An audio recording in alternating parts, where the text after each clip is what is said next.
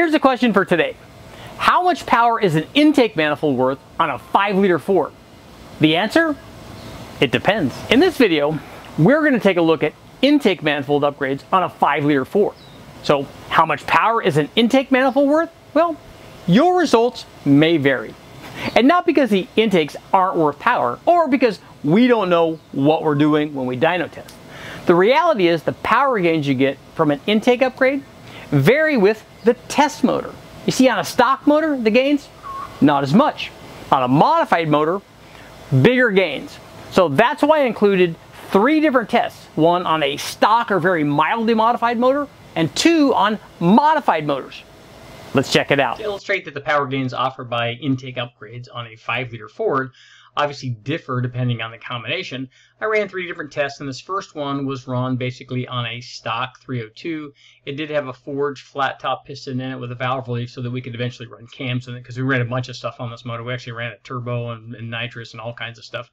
But in this configuration, it was the flat top piston, the factory E7 TE iron heads.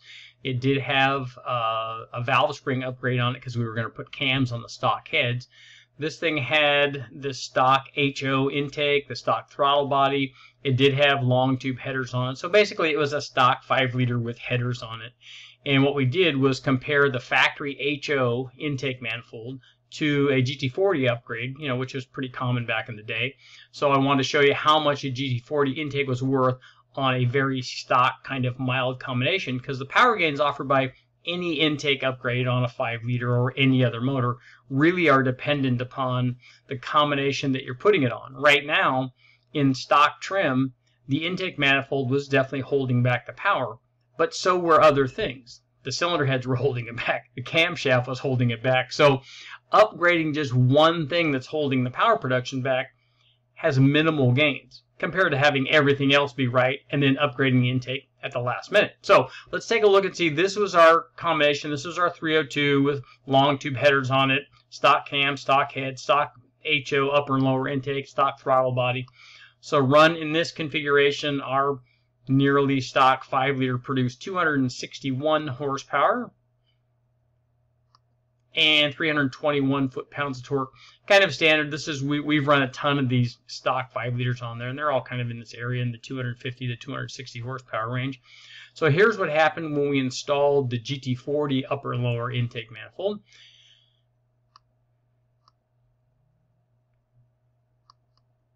So we did get a gain as expected. Lost a little, just a tiny bit down here at 3000 RPM but the power output jumped from 261 horsepower up to 279 horsepower. The peak torque changed very little, although it did shift it out slightly, 323 foot-pounds, but it happened out here at 3,900 RPM. So the GT40, as we've come to expect over all of these decades, was worth power compared to the HO intake and it allowed the thing to you know rev out there a little bit farther and make it a little bit better power. Now we've always liked the GT40 and Ford must have sold like a million of these intake manifolds because everybody wanted them. So this is kind of the thing would happen if you went to the junkyard and grabbed the the Cobra or Explorer upper and lower intake manifold off of a you know of a five liter Explorer. You could upgrade it, and this is kind of what you would expect. But you would get even greater power gains if you had a modified motor to put that on. So let's check that out. After comparing that GT40 upper and lower to the factory HO stuff on the near stock 5 liter, I ran another test basically on the same motor but after it had been upgraded. So we installed my favorite cam, that XE274HR cam, and a set of ported RHS heads on that same 302. And then we were running it with the GT40 intake and then upgraded to a Holley X. So the Holley X had been ported. The guys at Extrude porting, uh, Extrude did some porting, uh, you know, on the internal passages and stuff, which worked out really well.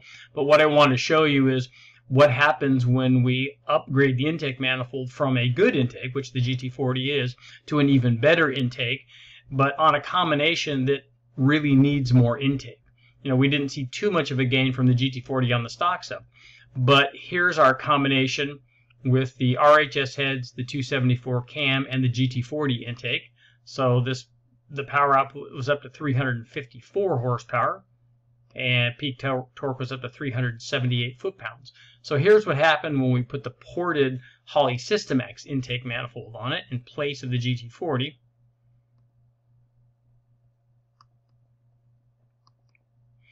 So we got some good gains, but again, most of it at the top. So the peak power uh, using the new Systemax ported Systemax intake jumped up to 394 horsepower.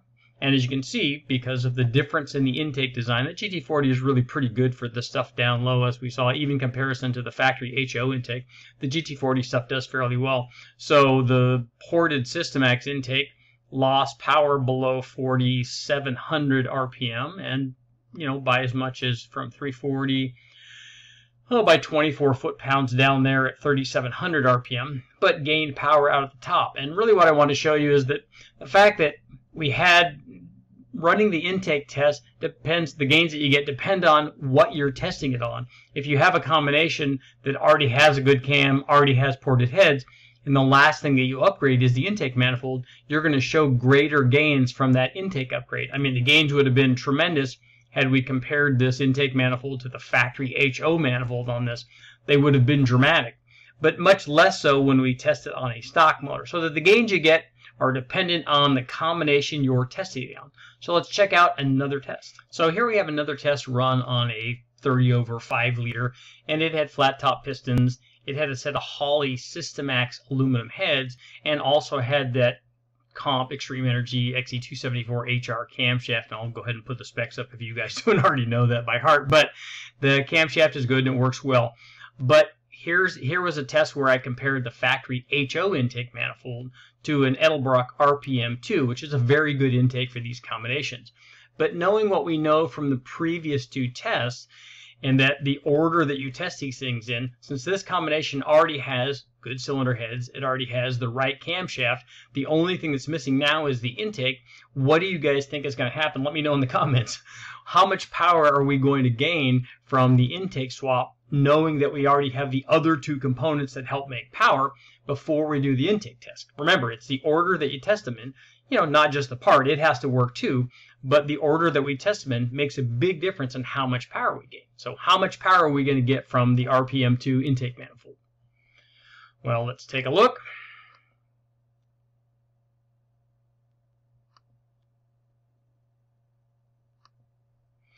So, equipped with the HO intake and the cam and the Holley heads, R302 produced 318 horsepower and 354 foot-pounds of torque. After adding the RPM2 intake, the peak power jumped up to 384 horsepower.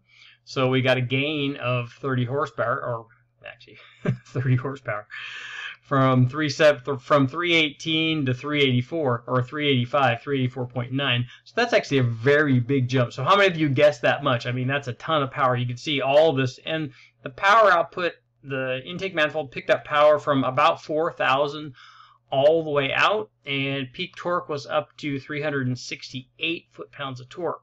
So because this combination already had the, enough compression and displacement and had the right, had a decent set of cylinder heads and a good camshaft, the only thing that was missing from this combination was a good intake manifold. So in that situation, when you add the intake manifold to it, it makes a lot of power. So here's something to think about, and this is a mistake guys make very often. So if we see that this gain, if we see that this thing gained 65 horsepower, let's say, from the intake manifold, what guys will do if we were to if that gained 65 horsepower from the intake manifold but if we were to test this camshaft and, and this man this combination already had the intake and the cylinder heads and all it needed was the camshaft and we replaced the factory cam with that extreme energy 274 cam we might pick up 40 or 50 horsepower um, or if we were to test the cylinder heads and it already had the camshaft and the intake and we would replace the cylinder heads, it might pick up 40 or 50 horsepower. So what guys will do is they'll add the 50 horsepower from the heads